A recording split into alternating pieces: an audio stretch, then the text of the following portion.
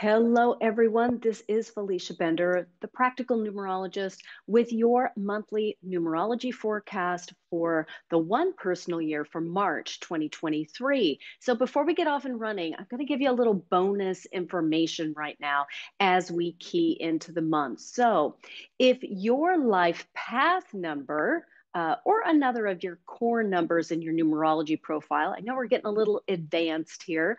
Uh, some of you may be new to numerology. You don't even know what I'm talking about, right? Uh, and rightly so if you're new. And yet, the life path number is usually what brings people to numerology. It's like knowing your sun sign in astrology. So, if you know your life path, and it is the same number as your personal year because these forecasts are, are uh, created uh, around the personal year, right? So uh, if your life path number is the same as your personal year number, the year is highlighted as a really special period in which you get double the pleasure and double the triggers or the lessons that you are working on developing and deepening with your overall life path purpose right now, right in the here and now in your life right now, right? Uh, so, of course, if you're in a one personal year this year, your one personal year nine years ago is going to be a bit different because you're nine years younger. Uh, in the in the future, nine years from now, it'll be a little different also because you'll be nine years older. And so it's kind of a no duh to say that, but I think it really bears repeating because uh, it's not always going to be the same for you because you're going to be at a different time in your life, and yet they will. It, it's going to carry the same thematics, the same energy, the same themes that you get to work with and that are supporting you during this year. So let's say uh, you happen to be a one life path and you are in your one personal year this year. It's going to put you to the test and ask you to up level your life uh, with those key elements or the themes of your life path, which have to do with leadership, with independence, creativity, healthy self confidence, and standing on your own two feet, uh, among many other things, right? But that kind of gives you the, the idea about it. Uh, so, the same if the one shows up as one of your other core numbers, like your destiny, or also called the expression number, maybe it's your soul urge, maybe you're born on the first of the month the 10th of the month, the 19th. Uh, that would bring you uh, a one birthday. So it will have that special significance for you. And why I bring this up is because it's really a, a special gift that you get to use that energy to really bolster this, uh, this part of your character, of your personality, and of your purpose in life. So if you don't know your life path number, please uh, go, go to the drop down in the nav bar, go to the homepage on my website. You can calculate your life path number there. Uh, there's also a lot of information about your life path. So if you're new to this and you're like, mm, that's kind of interesting, head on over there. Lots of free information for you there. If you want to do a deep dive, you can order an individual report. That's under the shop tab. Again, there's all kinds of resources there to help you out on your numerology journey. So with that said, uh, if you are experiencing a one personal year uh, this year in 2023, March is a number four personal month for you. So I've done the math for you. Don't need to worry about it. Trust me on this. You are in a number four personal month. So the reflection for you right now is that this really is the month to buckle down and put in the effort it's going to pay off in a big way because the month of March offers this very tenacious and practical energy that the number four brings with it whenever it shows up. And so, what does that mean, pray tell, uh, as you kind of channel your inner William Shakespeare there? Uh, what does that mean?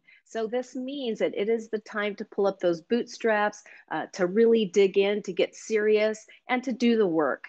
Uh, four weeks okay? Four week time period right now that you get to kind of buckle in and uh, and get serious and get clear about what you're doing what you're working on. And this can be uh, the whole a whole gamut of things that you're working with in your life right? It can be business it can be personal relationships it can be uh, some health issues.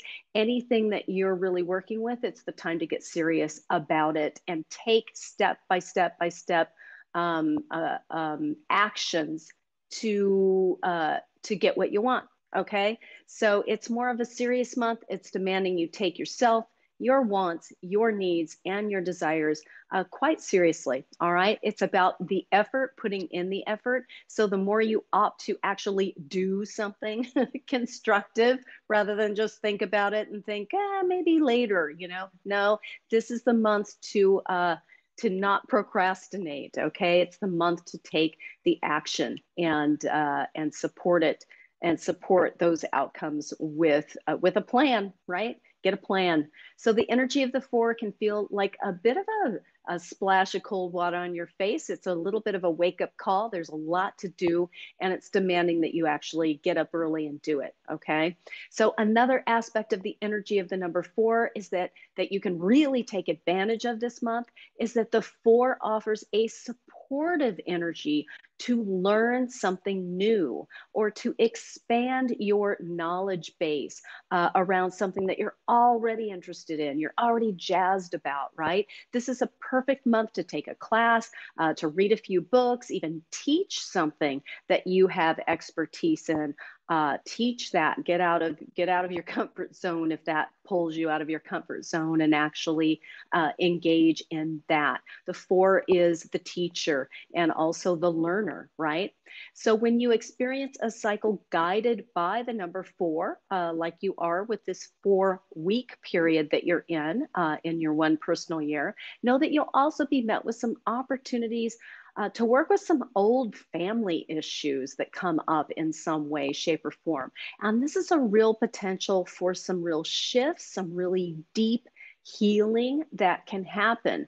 And yet, uh, for this to transpire, of course, right, there will have to be a catalyst something that happens that provokes uh, this uh, immediate necessity to do something differently with the issue at hand. So don't su- be surprised if you get a little bit of this this month. You know, maybe something comes to a head with a with a uh, some kind of engagement you've been having with a sibling or maybe your your spouse or maybe even children colleagues friends something that uh, uh, makes you move the needle and not do something in the same old same old same old pattern and the same old routine and the same old way the four is always asking you to step out of that and expand yourself and be more flexible uh, in, in that realm. All right. So understand also that you get two number four personal months in 2023. So the next one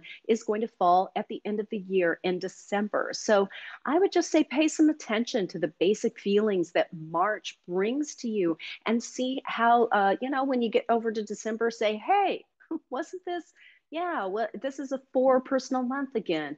Are we having any repeat, uh, repeated um, feelings? Situations, those sorts of things, maybe just parallel energies. Or it could also be that something comes up with that, say you have that sibling conversation this month, and in December you have the holiday, you've got the holidays going and you've got your sibling uh, there and certain triggers that would that always trigger you with that sibling on, on, on Christmas or whatever holidays you're at doesn't trigger you anymore. And you're like, wow, okay, that really that was worth it right? So it's those sorts of things that you can start to think about uh, uh, when the force shows up and how you can use this right? Actually use it so overall march is earmarked uh, for getting your ducks in a row uh, through some really tip top management some supervision some organization. It's up to you to do it all right? No one's gonna no one's gonna fly in and do it for you. So you've got to be the one large and in charge right now. So be prepared to negotiate some contracts maybe some agreements around march 13th or march 15th So the 13th through the 15th. But remember to be, really be flexible here. Uh, don't be afraid to ask for support. Again, this applies to friends, family, uh, colleagues. Know that you cannot get it done all solo. Don't be Charles Atlas holding the world on your shoulders this month, right? Really, you're going to have to, or you get more success when you ask for help. So uh, you'll need to take the responsibility, of course, for everything that you're going to be involved in, uh, but, um, but step out of your own way, ask for help, ask for new ideas, creative suggestions uh, from others. It really is going to be beneficial. It'll be that aha, right? That aha moment that you've been grinding, grinding, grinding on something because it's all in your own head. And then you have a conversation with someone and ask their opinion, and voila. there it is. There it is right there. Uh, so also understand that the energy related to the four can really usher in some feelings of limitation. The four is uh, the number of limitation in numerology. That's not bad. It simply makes you uh, uh, get get a plan, take things step by step, take it slow and steady. That is the point of those limitations. It, and yet it doesn't. Um, it doesn't keep it from feeling a little overwhelming or a little stultifying or frustrating, right? So you can even, you know, during this month, just be aware you can turn those smallest things, right? The littlest glitches the, into this, you know, huge monster, monster who's supposed, you know, who you feel like is there to devour you alive. So don't let that happen. Again, the power of numerology is, oh, uh, I'm feeling this way, that I don't have to. I can reposition myself here and I can uh, see it differently and just uh, kind of back up, take it a little slower, and take it a little bit more methodically and everything will be just fine. All right. So a great fallback for the month is to, uh, again, step back, take those different perspectives, slow it down. When things feel heavy, uh, you're going to feel a little bit exhausted, a little exasperated. It really, when you get those feelings uh, that you really realize they're right there, you're like, oh my God, I'm so, so tired of this, you know? So it's your cue to find a way to lighten it up, to step out of it for a moment and then come back refreshed. Find some lightness, find a way to laugh at yourself or the situation, and then you can come back and things will kind of fall into line uh, after you can lighten that up. Um, it, it, the key is to really pace yourself right now. So around March 28th, expect a significant lightening of your workload. That'll be lovely, won't it? Um, so yay. this can be due to uh, maybe a completion of a project or a, rele a release of some kind of commitment or engagement, right? It's something finishing up. So as you continue to launch into your year of new beginnings and fresh starts in your one personal year, March is the month to kind of get serious, not kind of, but to get serious and to force yourself uh, to get cleared, get some clarity, uh, get the, you know, call in the, call in the information and see where you can get clear about what you want and where you're going. All right. The key features for the month are organization, management, and clearly defined benchmarks. And don't expect to skip any steps to get where you want to be. That'll backfire every single time when you're dealing with a four, which you are for these four weeks. All right, just four weeks.